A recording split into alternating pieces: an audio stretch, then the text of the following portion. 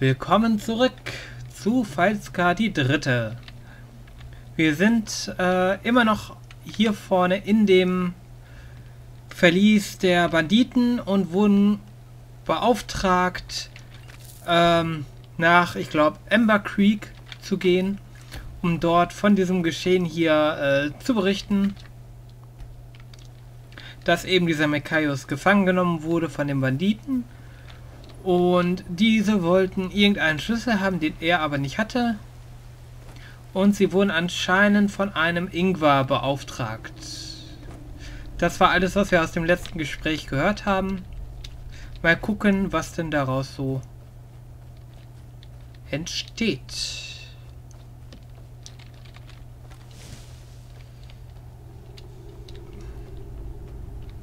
Sind natürlich natürlich sind sie schon alle fleißig vorgelaufen hier. Und auf die armen zwei Diebinnen haben sie natürlich keine Acht gegeben. Das geht ja mal gar nicht. So. Aber Olvia wollte uns ja vorne noch das Tor öffnen. Hui. Ah, okay. Gut.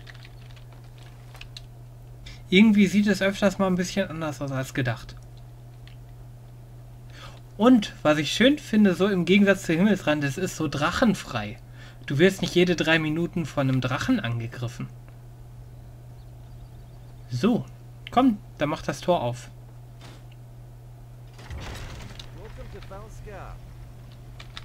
Danke. So, ich nehme an, wir sollen diesem Weg folgen. Dann nach Ember Creek gelangen. Kommt der eigentlich mit? Ah, oh, der ist mir zu langsam.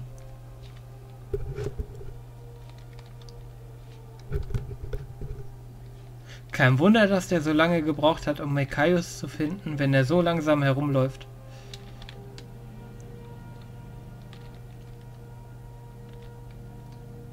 Irre ich mich oder ist die Musik gerade nicht aus Skyrim?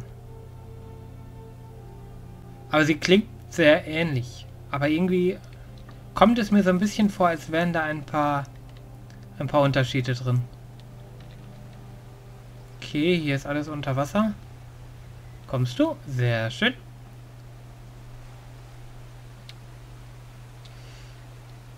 So, hoho, da vorne haben wir schon den ersten, die erste Weggabelung. Da links läuft einer entlang. Amber Creek ist auch richtig.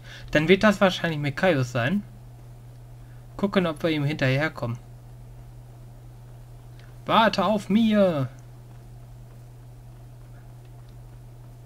Aber wenn er eh nach Amber Creek geht, warum hat er das dann nicht gesagt? Und wo ist er hin verschwunden? Er ist doch gerade hier vorne lang gelaufen. Jetzt ist er da. Wache? Ah. Das kannst du doch noch gar nicht wissen. Na, okay.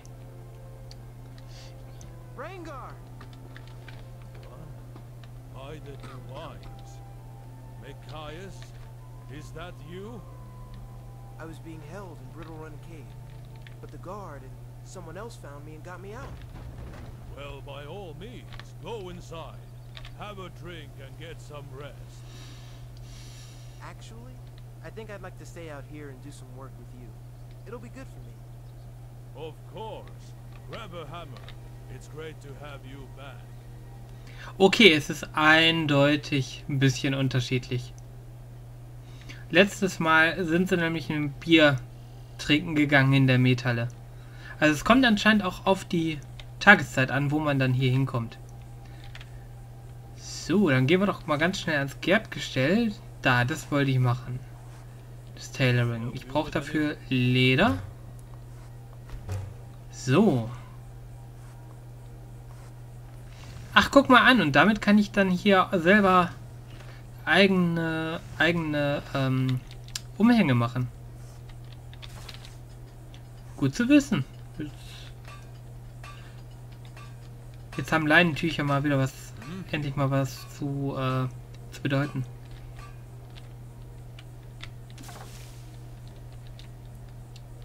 So, ähm, du hast doch bestimmt irgendwas für mich. Einen Ebenerz? Nein, du hast keinen Ebenerz ähm. Du hast nicht das, wonach ich suche. Vielleicht habe ich was, was du gebrauchen kannst. Ähm, den Zwergenhelm. So. Ich glaube, den Rest kann ich noch gut bei mir behalten. Cave Beer Pelt. Könnten wir vielleicht... Ich will doch nur Leder. Ah, hier, Leder. Machen wir die mal in Leder.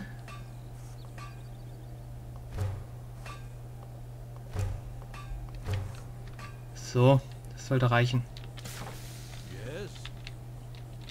So, und wir sollen jetzt dem Jal Bescheid geben. Das wäre dann da vorne. Citizen. Wache. Okay. So, und nach dem Gespräch ist für mich alles blind. Danach weiß ich nichts.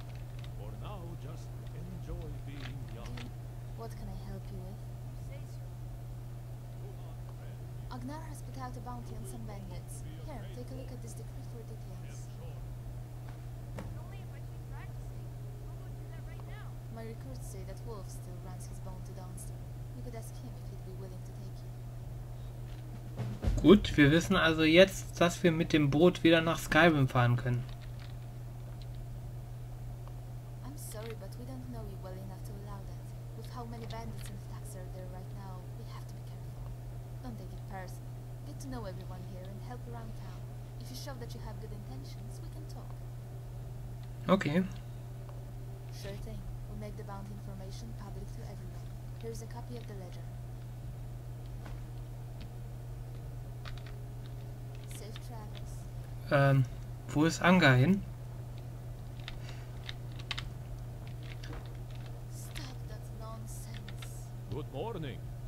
So, dann wollen wir doch mal.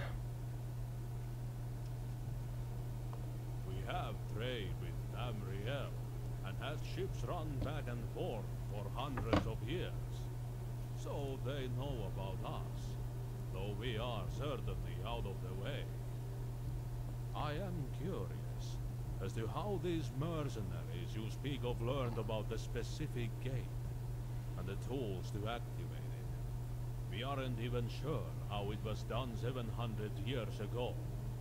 This is certainly something I would like to look into sooner or later. The technology could provide useful for us, for all of Nern. And it would give Brother Thorlo something to do. About a hundred years after we first arrived in Valskar, explorers figured out roughly where we were. It appears we are far to the northeast of Tamriel. However, we aren't sure how far. A great magic seems to surround this land and a voyage to Tamriel takes far less time than we think it should. Nobody is certain why. The only thing we are certain of is that we are on Earth. Same stars, same moons. At least, this magic makes it appear that way.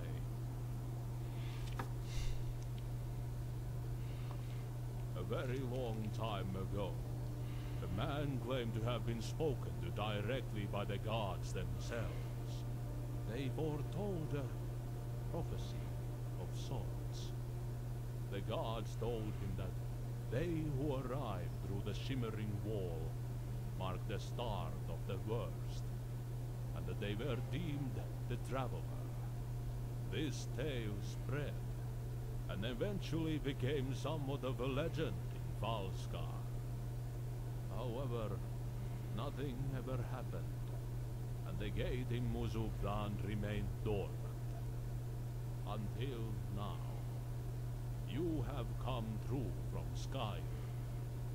What does that mean? Are you the brave soul the man spoke of? If so, what does that mean is about to happen?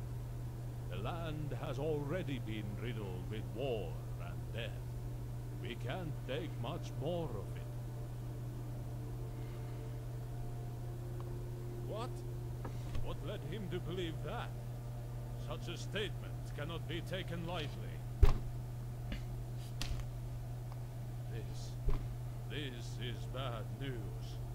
It could very well mean the start of another war. Thank you for bringing me this information. Please, accept this token of my appreciation. I hate to ask more of you. You have already saved one of my people. But I don't have much choice.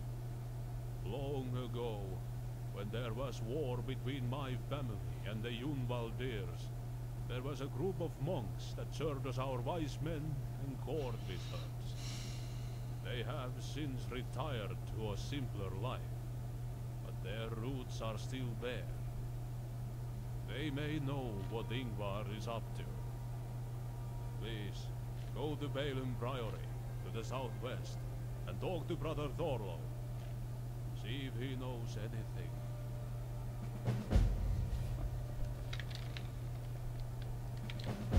Okay, so, wir sollen jetzt also... Ja. Du hast mir zwar gerade erst den Auftrag gegeben, aber frag schon mal gleich nach, wie es denn lief. Wir sollen jetzt mit Brother Torlo sprechen. Du guckst dir hier die Karte von Skyrim an. Bestimmt sehr interessant für ihn, wie denn Skyrim so alles aussieht. Aber gut. Ähm, und wir müssen dann jetzt gucken. Die können wir nicht aufnehmen. Schade. Wir sollen dann jetzt gucken, dass wir zu diesem Bruder Tolo kommen.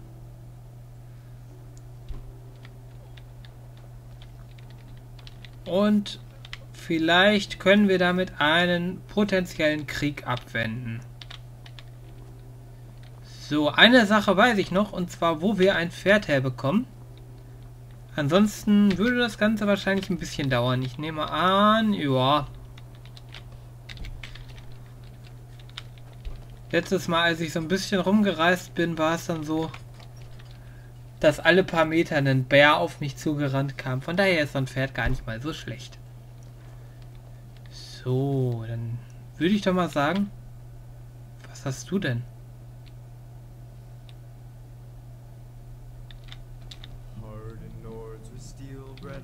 adventured from their homes.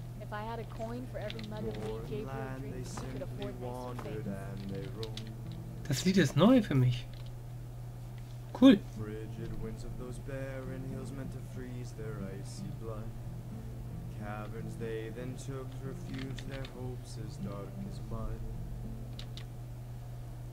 Hm. Wir haben noch keinen Ebenerz. Bogen, oder? Haben wir noch einen dabei? Ebenerzschwert hätten wir da. Dann lassen wir es noch.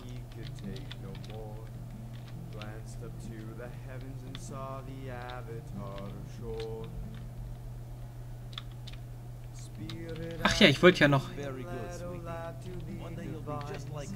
Told them that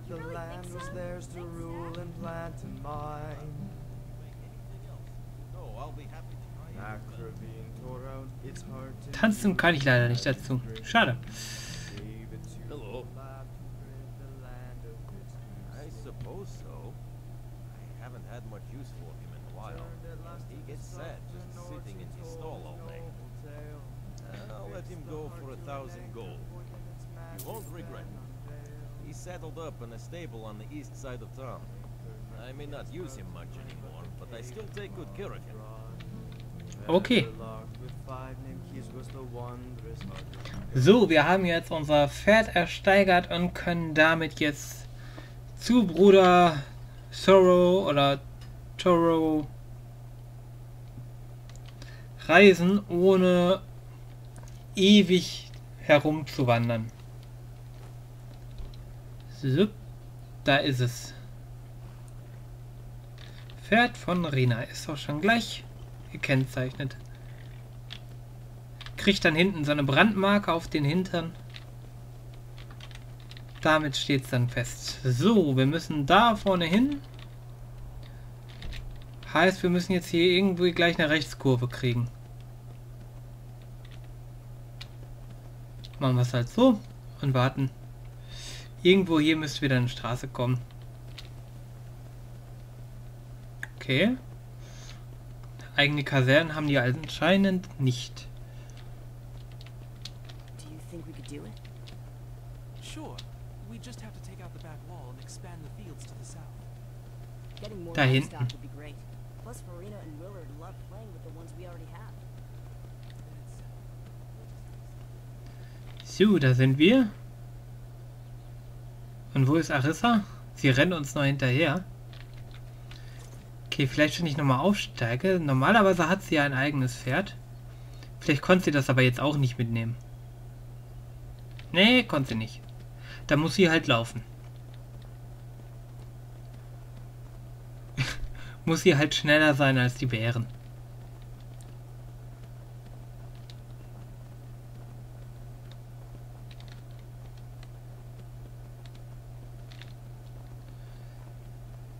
So. Da, da, da. Sind wir denn hier wieder angekommen? Das scheint irgendwie so eine Farm zu sein, oder? Lass mal gucken, was da ist.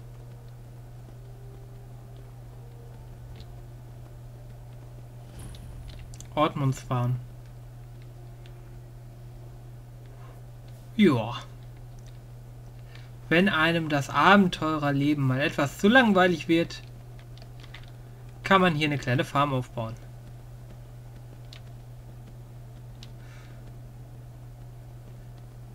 Schauen wir mal weiter.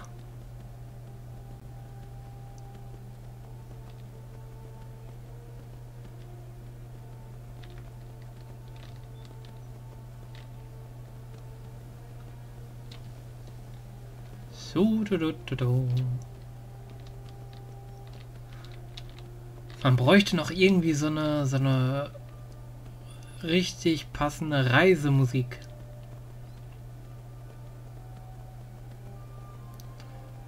Von gibt es ja leider relativ wenig, die so irgendwie in das Setting mit reinpassen. Was ist denn das? Das sind bestimmt die göttlichen. Ah, okay, da sind wir auch schon. So, komm, dann stellen wir dich doch einfach mal mit rein. Hier. Bedien dich einfach mal.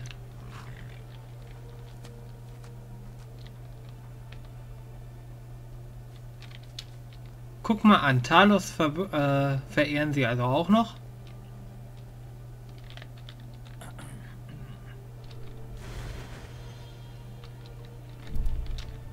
Keeping out of trouble.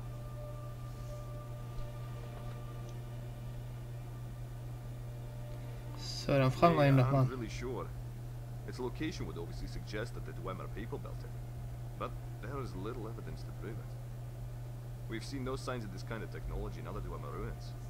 So, we can't do much beyond speculating. The scholars in Weizemonstedt were potentially studying it. But none of their research made it out. We'd have to start from scratch. Due to the continuous conflict in the land, research in the portal further simply hasn't been something we focused on yet. Perhaps someday though. Mhm. Also vermutlich haben wieder die Dwemer das Portal gebaut. Würde auch am ehesten zu denen passen. Oder das, äh, das Stargate war hier unterwegs. So, do you know anything about the increased bandit activity? I know they're a growing problem. They're all over Falska, but nothing else. That couldn't be. Unless... Unless trying to start another war. Regardless, we cannot have it. 700 years ago, Shore saved our ancestors so that we could flourish in this land and absorb its knowledge. not tear it apart. We will not help instigate another one with the Ormaldas. Of course, we are so loyal to the Ormaldas. If it comes to it, we will fight by King Agnar's side until victory or Sovngarde takes us. Na dann. Das ging ja schnell, den zu überreden. Mal gucken, ob er noch einen weiteren Weg kennt, äh, um nach Skyrim zu gelangen. Missing Skyrim? Really are the traveler, aren't you? There's a Nord by the name of Wolf at the docks. He still runs a boat to Skyrim. Speak with him. I'm sure he'd be willing to take you there. Okay, er kennt auch nur den Boot. Safe travels. Hätte ja sein können, dass er noch was anderes kennt. Okay. Wer bist denn du da? Dies hier müsste Mara sein. Ja, das ist I mal. wish you a peaceful journey. Ach so, das ist einfach nur ein normaler Priester. Lass uns noch mal hier ein bisschen umgucken. Was ist das hier? Okay, das ist diese Bastei. Bruder Arnand. Da sind die begehrten Wasserhasen. Hello.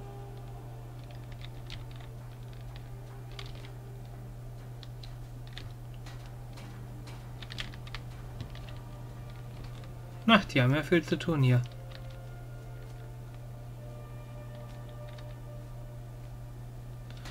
Dann gehen wir doch mal rein.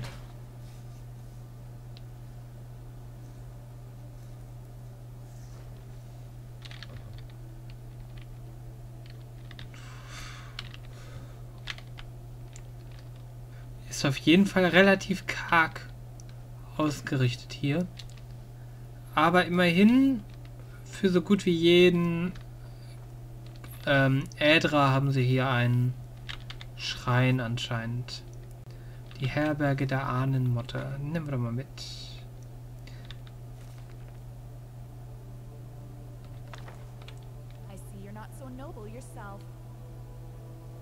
Natürlich bin ich nicht nobel. Ich bin. Sie sollte eigentlich äh, wissen, dass ich die Meisterdiebin bin.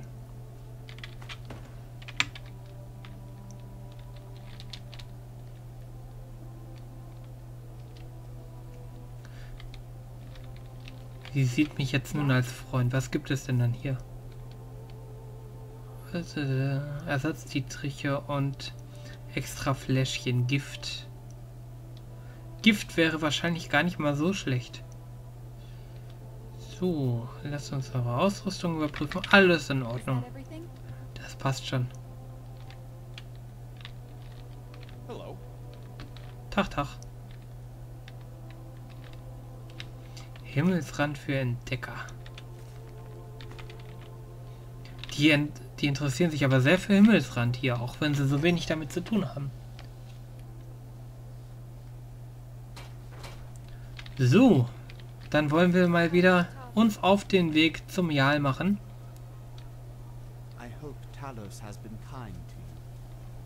Ja, das kann man so nennen. Unser Pferd posiert gerade ein wenig. So. Geh mir aus der Weg. Sehr schön. Dann können wir jetzt wieder zurückreisen.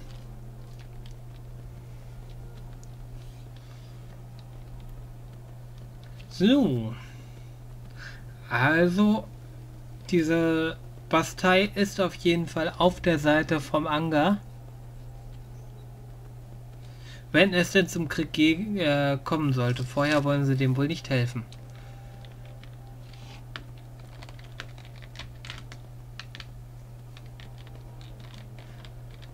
Mal gucken, vielleicht können wir es ja tatsächlich noch schaffen, den Krieg auch zu vermeiden. Wäre auf jeden Fall mal ähm, eine interessante Quest. Normalerweise kann man es ja nie tun. Man wird dann in diese Kriege mit hineingeworfen. Gucken, vielleicht spielen wir mal so ein bisschen Mongole hier. Vielleicht kriegen wir den Hirsch da vorne noch. Mann, ist der schnell. Hier kommt ja kommen noch hinterher. Ja, komm her.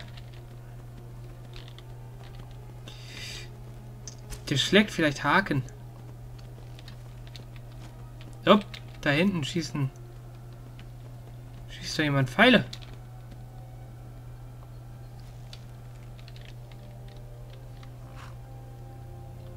Ach, das war bestimmt Arissa, die auch auf den Hirsch geschossen hat. Mann, Mann, Mann. Apropos Hirsch, da ist er wieder. Hirsch. Ah, dieses Mal hast du gewonnen, Hirsch.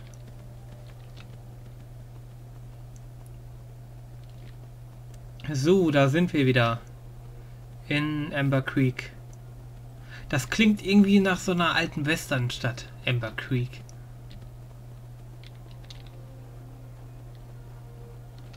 So, dann werden wir mal Bericht erstatten gehen.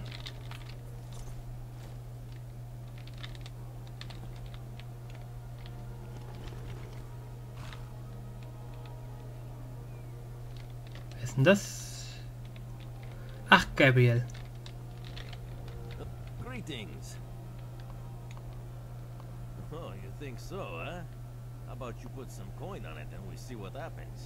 Ja, dann wollen wir mal ein bisschen... Ah, schade, ich habe meine Rüstung nicht dabei. Ich hatte vorher noch eine Rüstung, die mir, wenn ich getroffen werde, eine Chance gibt, dass der Gegner gelähmt wird. Damit würde es natürlich noch besser gehen. Aber mal gucken, ob wir es mit geschickter Beinarbeit auch schaffen.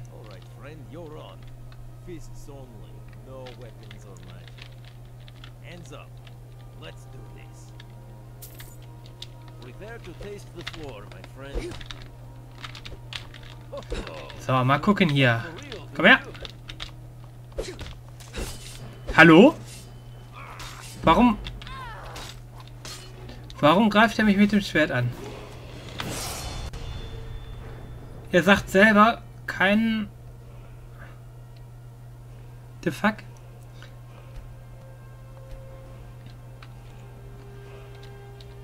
Also, wir merken, wir können uns auf das Wort von Fallskala nicht wirklich verlassen. Schnell zücken sie dann doch mal die Waffe. Ach ja, jetzt gibt er wieder auf, ne? Du bist vielleicht einer.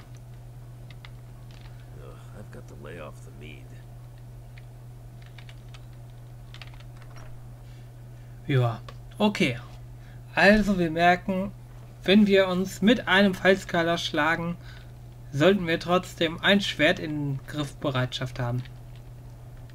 So, da vorne rechts sollte er wieder sein. Hängt wahrscheinlich wieder über die Skyrim-Karte. Nein, diesmal nicht. Dann ist er oben. Da ist Jam Jalma oder Jalma. Da ist Jarl spoken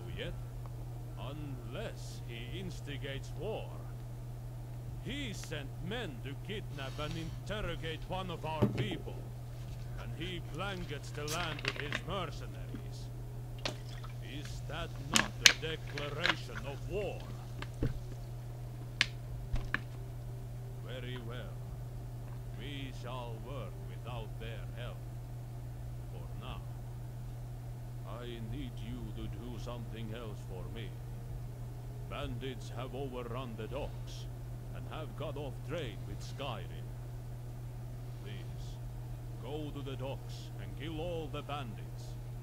Then talk to Hendrik. He runs the trade store there. Ask him if he learned anything helpful while the bandits were there. Warum muss ich sowas schon wieder machen?